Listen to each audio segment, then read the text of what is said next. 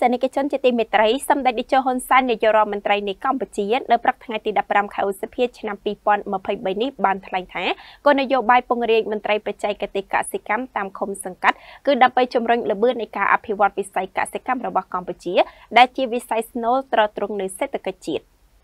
សម្ដេចនាយកហ៊ុនសែននាយករដ្ឋមន្ត្រីនៃកម្ពុជានៅព្រឹកថ្ងៃទី15ខែឧសភាឆ្នាំ2023បានថ្លែងបញ្ជាក់ថាគោលនយោបាយដាក់ពង្រាយមន្ត្រីបច្ចេកទេសកសិកម្មនៅតាមបណ្ដាឃុំទូទាំងប្រទេសដើម្បីជំរុញល្បឿននៃការអភិវឌ្ឍវិស័យកសិកម្មកម្ពុជា ដែលមានវិសាលភាពធំធេងនិងជាវិស័យស្នូលសម្រាប់ទ្រទ្រង់ដល់កំណើនសេដ្ឋកិច្ចជាតិសម្ដេចនាយកនាយករដ្ឋមន្ត្រីបានថ្លែងថាត្បិតកម្រិតអត្រាកសិកម្មទាបក្នុងសេដ្ឋកិច្ចជាតិប៉ុន្តែមិនមែនមានន័យថាវិស័យកសិកម្មរួមតូចនោះទេ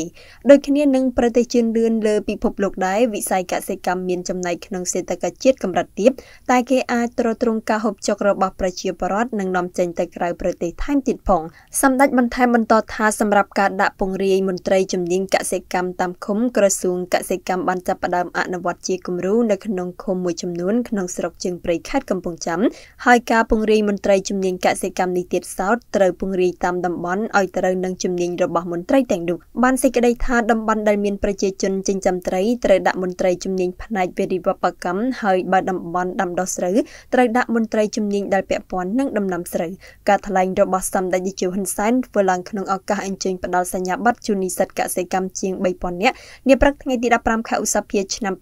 2023នៅមជ្ឈមណ្ឌលសន្និបាតនិងពិព័រណ៍កោះពេជ្រសម្ដេចនាយកហ៊ុនសែនបានថ្លែងយ៉ាងដូចនេះថាឥឡូវបោះមកវិស័យកសិកម្ម ថ្ងៃនេះខ្ញុំក៏សូមថ្លែងនៅការកោតសរសើរចំពោះក្រសួងកសិកម្មរុក្ខាប្រមាញ់និងនេសាទក៏ដូចជាគ្រឹះស្ថានសិក្សាទាំង3ដែលបានខិតខំធ្វើការបណ្ដុះបណ្ដាលធនធានមនុស្សក្នុងក្របខ័ណ្ឌវិស័យកសិកម្មរបស់យើងដែលមានគ្រប់កម្រិតតាំងពីបរិញ្ញាបត្ររងបរិញ្ញាបត្របរិញ្ញាជាន់ខ្ពស់ហើយនឹងថ្នាក់បណ្ឌិត ដែលនេះជាចំណែកនៃធនធានមនុស្សដ៏សំខាន់របស់យើងសម្រាប់ការអភិវឌ្ឍវិស័យកសិកម្មនៅកម្ពុជាអ្នកទាំងអស់គ្នាប្រហែលជាបានដឹងហើយថាខ្ញុំធ្លាប់បានប្រកាសគឺក្នុងមួយឃុំត្រូវផ្ដល់អ្នកបច្ចេកទេសមួយអ្នកសម្រាប់ ជួយដល់កសិកររបស់យើងក្នុងការដោះស្រាយបញ្ហាបច្ចេកទេសកសិកម្មខ្ញុំធ្លាប់បានធ្វើការណែនាំនៅក្នុងពេលប្រជុំគណៈបកថាឲ្យយកចិត្តទុកដាក់ទៅលើបញ្ហាការរស់នៅរបស់អ្នកទាំងនោះបូកជាមួយនឹងការគួបផ្សំកម្លាំងឲ្យបានធំ បើសិនយើងដាក់ដាច់ដោយឡែកដោយឡែកមកគុំម្នាក់មកគុំម្នាក់ហើយធ្វើការដាច់ដោយឡែកពីគ្នាខ្វះការសហការគ្នាគឺយើងឃើញថាមនុស្សនេះវាតិចណាស់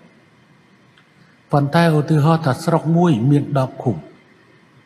យើងបង្រៀនមកគុំម្នាក់មកគុំម្នាក់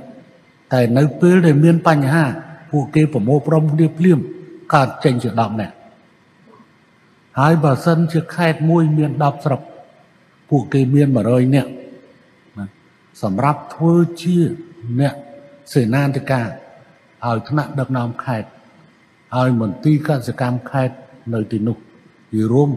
រដ្ឋបាលថ្នាក់ក្រោមជាតិនិងមានបញ្ញាបច្ចេកទេសក្នុងដែរដូច្នេះយើងអត់ខ្លាចជាមួយនឹងការចំណាយសម្រាប់មន្ត្រីបច្ចេកទេសរបស់យើងដែលត្រូវបញ្ជូនទៅហើយថ្ងៃនេះ យើងបានដឹងថាមានមន្ត្រីកសិកម្មដែលបានចុះទឹកជើងព្រៃ4នាក់ក៏នឹងមកទទួលសញ្ញាបត្រនៅថ្ងៃនេះដែរហើយច័ន្ទវឌ្ឍនាការដែលជាកីឡាជំរឿសបាល់ទាត់ក៏បញ្ចប់ការសិក្សានៅថ្ងៃនេះផងដែរអញ្ចឹងទេ ខ្ញុំពិតជាមានការរីរីដោយសារតែនៅពេលវេលាបានមកដល់យើងនឹងជ្រើសរើសទៅសំឲ្យមានលក្ខណៈសមស្របក្រំតែជាការដាស់តឿនអស់លោកពិតជាចេះហើយខ្ញុំក៏បានបញ្ជាក់ដែរថាតែងលេងខណ្ឌចកាមនសុំមកសង្កាត់ម្នាក់ដែរមិនត្រូវទេ ណាអត់មានកសិកម្មសំបីបន្តិច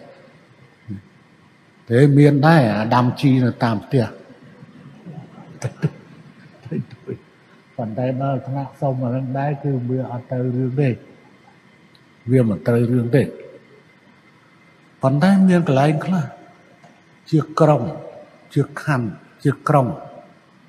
នៅក្រៅរាជធានី ឬក៏នៅជារាជធានីក៏មានកន្លែងដែលផលិតផលិតកម្មនិងមានការចិញ្ចឹមសត្វហើយការនេះក៏ត្រូវរើសឲ្យត្រូវរើសឲ្យត្រូវ